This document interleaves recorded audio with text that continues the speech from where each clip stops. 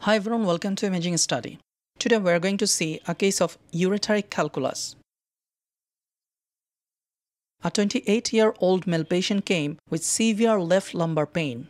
Let's see what we have got on ultrasound. Here you can see a part of left kidney.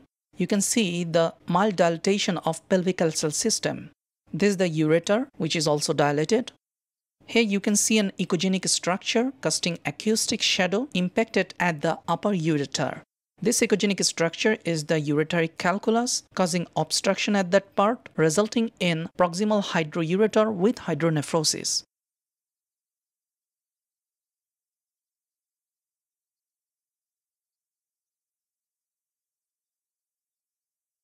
Here's the picture. You can see this ureteric calculus impacted at the upper ureteric lumen.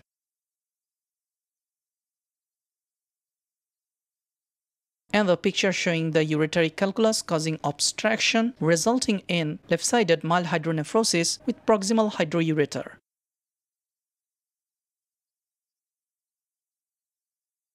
Another picture with the measurement. The stone measures around 13 millimeter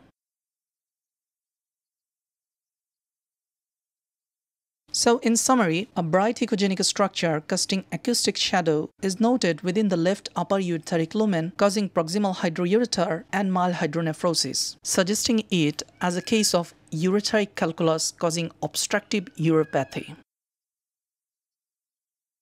Now the take-home message. Using different transducers and different frequencies along with color Doppler may help trace the ureteric calculus at the patient's complaint site.